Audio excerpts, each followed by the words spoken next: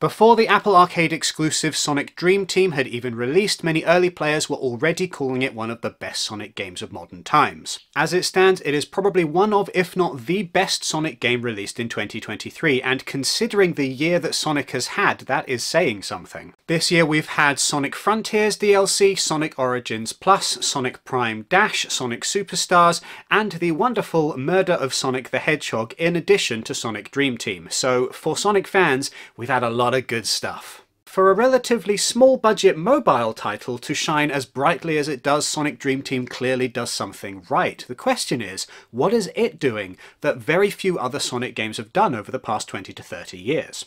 Apologies, by the way, for another video in this format. It is not my favourite, but it's been such a ridiculously busy month slash year that if the video is not made like this, then it's just not going to be made. Uh, and also, that's why I'm just like literally filming with the backdrop from some of the videos that I do for my day job, because I do not have the space or the time to uh, rearrange the lights and get things set up. Otherwise, I hope that everybody's just okay with that. What's your message for the universe? I'm Hello. still here. I'll record something for you soon. Sorry. so I was having a conversation with some friends uh, in the immediate aftermath of Sonic Dream Team being released, and I said something which I have said before and is a little bit capricious, but I said that at this point I think that Sonic Team are the only people on planet Earth who don't know how to make a Sonic game. You know, I'm being a bit catty, I'm being a bit mean. And in response to that, one of my friends, Tessnakerer, be sure to check his channel out, said, quote, uh, they do know how to make a Sonic game. The issue is they don't know how to make one twice. And that's kind of the point. That there, that is what Sonic Dream Team does that no other Sonic game recently has done. They have made a successful sequel that uses ideas from previous Sonic games, but doesn't throw the baby out with the bathwater. You know, Sonic Team has developed this reputation that every few years they try to dramatically shake things up for Sonic, uh, and in doing so they start again from scratch. And in doing so, they kind of get rid of all of the stuff that they were building upon, and again they're left with things that are maybe half thought out or that need more development. It's not uncommon to get to the end of a Sonic game and think to yourself, well, that was alright, there was some pretty good concepts in there, it'll be interesting to see what they do next with this, and then what they do next with this is something completely unrelated entirely ashamed. So you had the 2D stuff, and then there's Sonic 3D Blast, but then there was the adventure games, and then there's Sonic Heroes, and then there's Shadow the Hedgehog, uh, and then there's Sonic 06, and then there's Sonic Boom is in there somewhere, Sonic and the Black Knight, Sonic and the Secret Rings. Uh, all of these games do something very different with Sonic, and none of them really flow from one to the other. Like the ideas that really work in one game are not then carried on into the next. And then in fairness, we did get quite a long stretch where modern Sonic was all focused on the boost with the Hedgehog engine, uh, all very, very similar in terms of the Sonic gameplay. So you have Unleashed and you've got Colors and you've got Generations, all of these games that feel more or less the same and that allowed Sonic to, for a little while, build upon things that featured in previous games and take out elements that didn't work quite as well and then add in new things to kind of experiment with the formula. But even with this locked in formula, it hasn't always felt like Sonic Team understands why certain things are popular in their games. The classic example being Classic Sonic, who was thrown into Sonic Forces because he was popular in Sonic Generations, even though it doesn't quite fit the game and even though the way that Sonic controls in these segments of Sonic Forces doesn't quite feel right either. I think the challenge for Sonic Team for quite a while now has been trying to figure out which of their ideas are actually worth pursuing further. And sometimes they pick the right things and sometimes they get the wrong end of the stick when something ends up being very popular. Or they just end up dropping a mechanic that people enjoy but that doesn't quite gel with whatever they have in their head that they want to do next. They also, and I know I'm going to get comments for saying this again, but I'm going to say it again anyway, they also do have a tendency to borrow ideas from Zelda games, or at least that's how it feels, because there always seems to be something in these Sonic games that feels reminiscent of something that Zelda did three or four years prior. At the moment, we're at a point where Sonic Team's Takashi Iizuka insists that Sonic Frontiers is the future of the Sonic franchise, that we're going to be getting more wide open zone games where you can wander around a bit more, you have a bit more freedom to explore, uh, and in that you can soak up the atmosphere, you can bounce off different springs, you can grind on some rails, you can just kind of figure things out for yourself. As far as the direction for the Sonic the Hedgehog franchise may go, that's not the worst thing that they could possibly have decided on, uh, but at the same time, we're being told yet again that this is the foundation and that the next game is going to build off of these things, and we have yet to see what they actually decide to keep and what they decide to lose from that game. At a time then when Sonic the Hedgehog is going more open world, Sonic Dream Team feels like a little bit of a throwback, or indeed a lot of a throwback, because all of the big ideas from this game have appeared in previous Sonic the Hedgehog titles, both from classic Sonic, modern Sonic, uh, from the adventure games, from all of the different eras of Sonic. There's a little bit of Sonic Lost World in there, which is just interesting to see. Uh, all of these ideas kind of mushed around, turned into something new as they've created a game that builds on basically everything that Sonic is, rather than trying to pick one specific direction, and indeed rather than trying to forge a new path, looking at what worked before and how it can be updated and modernized and made to fit with everything else. What's interesting about this approach is that not only does it feel fresh and original to have a Sonic game that is using a lot of ideas but using them very well, uh, it also retroactively makes some of these ideas feel more coherent as a result. It makes you feel like, oh yes, going back to these games, it does make more sense because here's what they could have been and what they were building towards. Here's the baby steps that have then formed Sonic Dream Team. Uh, and that's brilliant because it's always nice to have something which not only is great in its own right but also makes everything else around it better as well. Now, Sonic Dream Team does not have a Sonic Frontiers sized budget. That is very clear right from the start. Things open with the delightful 2D hand drawn animated opening cutscene, and then we get a series of still images. It feels like a comic strip that has been made using the 3D character models from the game, uh, which is essentially the, the cheapest and the quickest and the easiest way that you could possibly have an intro story for this type of game. And indeed, all of the cutscenes of the game play out in a similar fashion, just a series of still images. I think that's brilliant. I think that's a very good choice on the part of Sega Hardlight, because they had a limited budget and they decided to focus on the things that matter and then present the story in a way where it's it does the job, but they're aware that most people are hitting the skip button anyway. I say this having been a huge fan of The Murder of Sonic the Hedgehog, primarily because it is very much a visual novel. So it's not that I'm saying that I don't like story in Sonic games. I definitely do when there's a context and a reason for them.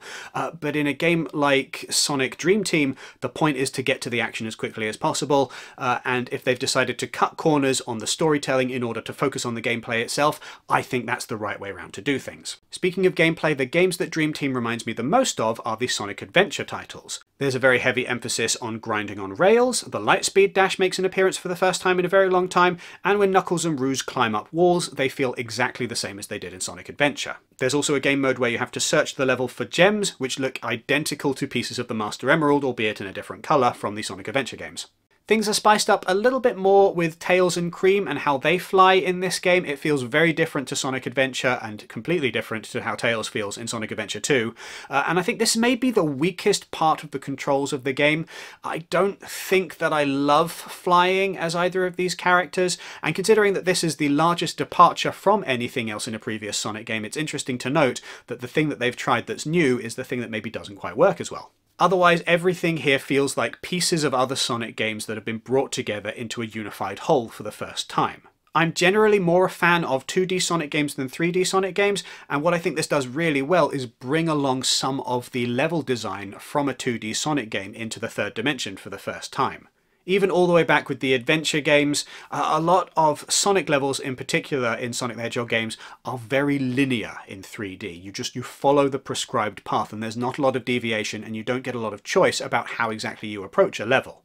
Compare this with a 2D Sonic game where the whole point of the level design is that you can either go up, you can go down, there are various different paths that you can take along the way, uh, and different secrets to discover and things to explore with different characters that then bring out different parts of the level. This slightly more varied element of Sonic level design is perfect in Dream Team. You have the choice in a lot of levels, whether you want to approach it as Sonic or as Knuckles or as Tails or as their female counterparts, and you have the choice yourself as to how you go about that. Do you want to make use of the lightspeed dash here? Do you want to fly? Do you want to glide over to something and climb up a wall? It's all fairly open uh, and doing it in different ways will take you through the level in a different progression uh, and will also give you the opportunity to explore at your leisure. There are, of course, some levels that you are locked in with a particular character, and when you've got some of the kind of the more free and the open levels where you're exploring to find gems, there are certain points in the level that can only be reached by one of these characters. You've got the freedom to change character at any point, which is a very welcome inclusion. Uh, but this idea of being able to explore the same one level with multiple different characters who control in a different way is strangely absent from a lot of 3D Sonic games, and it works perfectly here.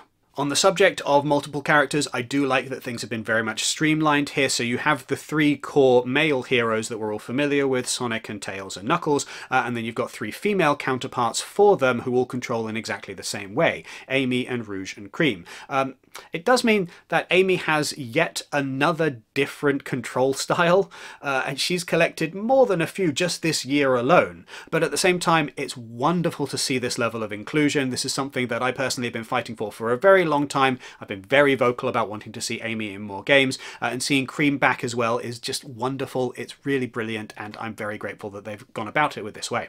One thing I also appreciate is that in bringing along all of these old ideas from previous Sonic games, they haven't just imported them wholesale, they have tweaked them, they have altered them to make them feel a little bit more comfortable. There are a lot of moments in Dream Team where I think I'm about to hurtle off a ledge because I've made a slight mistake or miscalculated a jump, and the game just kind of plops me where it knows that I was trying to go. Uh, this is particularly true around grinding on rails, where the game says, ah, you press the button prompt vaguely near the rail, we'll just put you on the rail. That's what you were aiming for anyway. Uh, and it's also true of the lightspeed dash. There's a moment of panic almost every time I use the lightspeed dash because I'm not quite sure if it's going to work, and generally it does, but there is just that second of me thinking, oh no, did I get it right? And part of that is probably a hangover from the adventure games, uh, but also part of it as I feel there might just be something in the way that the game is presented where it just it triggers something in me that I'm a little bit concerned, but generally it works out fairly well. I think as I progressed through the game, they got to more and more points where obviously the difficulty scaled up uh, and I was struggling a little bit more and uh, accidental deaths became slightly more common. But at the same time, I've never felt like I've been cheated uh, in this particular Sonic game, which I have definitely in other games in the past. Uh, it always feels like the game is fair and where I've made a mistake, it's generally my fault. The exception to that is the camera. The camera in this game sometimes decides that it doesn't want to do what I want it to and it will just do its own thing. It's a bit frustrating at times, but as a Sonic fan, I'm very well aware of how difficult cameras are to get right with this particular speed-based gameplay style, uh, and as a result, I'm willing to overlook its peculiar quirks. Certainly for the most part, I feel like the game is tremendously well polished. It does an excellent job of having a limited scope and of not attempting to uh, exceed that or kind of go further and stretch further than it could do. This is a game that knows its limits well, and in the Sonic franchise, that's not always the case, so I applaud it where I see it. Indeed, one of the big criticisms I've seen of this game, and it's not really a criticism anyway, is it, is people saying, I wish this game were longer. It's quite a short ride. And that is absolutely true, and I don't think that that is a bad thing, because there have been a lot of Sonic games this year, and there have been Sonic games indeed for people who love all different types of Sonic experiences. Uh, and if you want a big, long, sprawling Sonic game, Frontiers still exists. I find that the focused tight game that is Sonic Dream Team uh, is a lot more to my personal liking because I know that it's not wasting my time. This is not to say that Sonic Frontiers necessarily wastes the player's time, but it is to say that just sometimes games can feel the need to feature unnecessary fetch quests or unnecessary challenges or kind of just string things on for a little bit longer for the sake of extending the runtime. One game that I do feel does this in the Sonic the Hedgehog franchise is Sonic Colors, where I breeze through the first few levels, I'm having a great time, and then suddenly I'm stuck in some awkward, really fiddly platforming stages that don't need to be there. They're really clearly just there to make sure that I've slowed down and played the game for more than two hours without finishing it. Sonic Dream Team does not mind if you play for two hours and finish the entire thing, and in that way I think it reminds me a lot of classic Sonic games where you can finish any of them in about half an hour if you push through. That's absolutely not a bad thing given the number of times that I return to classic Sonic games. All killer, no filler. Considering that limited budget, I do think that the way Sonic Dream Team is structured really works to its favour. So you have a level and then you've got five challenges within that level, but all of them feel appropriate. None of them feel like they're deliberately slow or clunky or that they're trying to get you to do things that the game is not designed for. You've got various challenges of getting to a goal, you've got some speed trials, you've got some exploration trials. They all work and none of them linger or overstay their welcome. You quickly move on to the next thing. Boss fights have been a contentious subject in Sonic the Hedgehog games this year, so I think that Sonic Dream Team does a very wise thing. Uh, in, the first boss fight is clearly just copying Super Mario Odyssey, and there's nothing wrong with that because if it works, it works. Subsequent boss fights can be a little bit more fiddly, but the fact that there is no live system and the fact that you don't have to start a boss fight all over again if you die means that this is a lot more enjoyable than the boss fights in certain other Sonic games from this year, mentioning no names. All in all, Sonic Dream Team works for me personally because it is a culmination of all of the wonderful things that I have loved in previous Sonic games. It is put together in a package that is very well polished, that doesn't overstay its welcome, that just works as a coherent game, in a way that a lot of Sonic Team Sonic games don't necessarily always land. Is it my favourite Sonic game of the year? I, I really liked The Murder of Sonic the Hedgehog, so I'm probably going to say that that is my absolute favourite Sonic game of the year, and quite possibly my favourite game of the year in general, because I just thought it was whimsical fun, uh, and I really enjoyed the art and the writing and the, the whole experience. Uh, but certainly, uh, as a favourite Sonic game, like actual Sonic game with actual Sonic gameplay, this might just be it. Not just for this year, but for a long time. Like, what's the? I guess it was Mania was the last time that I enjoyed a Sonic game where you play Sonic gameplay uh, this much. Sorry if that sounds a little bit convoluted with me separating out the murder of Sonic the Hedgehog into its own little bubble, but I, I hope that you can understand why I'm doing that and why that feels like a very different thing to like a proper Sonic game where you run and jump and collect rings. I mean, yes, you collect rings, but you get the point. So then, yeah, Dream Team, the best Sonic game that I've played since Sonic Mania, not including The Murder of Sonic the Hedgehog. But at the same time, I'm aware that this game is locked on a certain device. It is exclusive to Apple Arcade, which means that if you don't own an Apple product, you can't play the game. And with that being the case, I would not necessarily say that this game alone is worth the price of admission if you need to buy an iPad or an iPhone to play it. One hopes that eventually it will be ported to other systems, but even if that never happens, there are so many other Sonic games out just this year alone that I feel like there are other games that you can play and you don't necessarily need this one in your life. So yes, I really enjoyed it. Yes, I think that you will really enjoy it too. But no, if you can't play it easily, I don't think that you should go out of your way to do so. At the end of the day, there are always more games out there. This is true now more than ever. There are so, so many really wonderful games.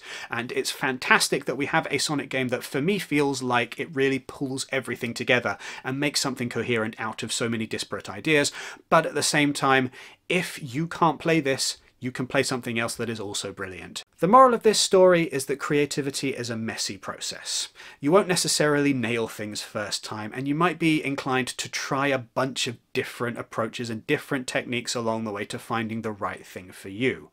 But as you're going through this journey, every not quite achieved goal, every slight misstep, every imperfect project does lead you to develop a greater sense of yourself. And by the time you're finished, everything along that journey, even and indeed especially the ways in which you failed, help to make you better and make you stronger and make you the more fulfilled person that you can be. Sonic Dream Team proves this, and hopefully, whatever comes next will build on that. And I mean, that does go some way to explaining the uh, tumultuous journey that this channel has had in the past 12 months as well, which is still a work in progress. All I can do is my best. Hello, everyone. I do really miss talking to you, and I hope I get to soon. Bye. That makes it sound like I'm like forcing you off the.